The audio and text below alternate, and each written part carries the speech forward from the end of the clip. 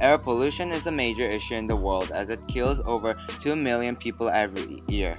Delhi contributes to the high number of deaths due to air pollution by 10,000 and it has recently been identified as the most polluted city in the world. Air pollution needs to be reduced as it has a negative impact on the citizens. Air pollution has a negative impact because it causes respiratory diseases such as asthma and cancer, and in extreme cases, deaths. Air pollution levels in Delhi are growing day by day, with 1,400 cars being added up to the road per day, along with 7.5 million cars that are being already on the road. Air pollution levels need to be reduced, and they can be reduced by CNG since vehicles are a major cause of the high pollution levels. CNG, also known as compressed natural gases, is a clean burning fuel and is the cleanest of all fossil fuels. CNG can reduce the air pollution because it does not pollute the air as much as diesel and petrol, and CNG is the cheapest fuel available in the market. The only problem with CNG is that it's not readily, available as compared to petrol and diesel. Nobody wants to spend an hour searching for a CNG station.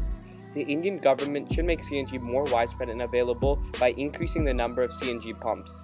If the government makes CNG more available and widespread, the citizens will then prefer to use it because CNG is cheaper than all other fuel. We, the citizens of India, should conduct a campaign to have the government reduce the air pollution levels by introducing more CNG pumps and CNG vehicles. The campaign will add pressure to the government and they will have to reduce the air pollution by making CNG more available and widespread. We can also reduce the air pollution levels by purchasing CNG vehicles instead of purchasing diesel vehicles or petrol vehicles. Purchasing CNG vehicles will be cheaper for you since CNG is cheaper than petrol and diesel. Also, CNG is beneficial to the environment. In conclusion, the best way to reduce air pollution is if the government makes CNG more available to India. CNG is cleaner and cheaper than any fuel in the whole world. This world is beautiful. So let's keep it that way.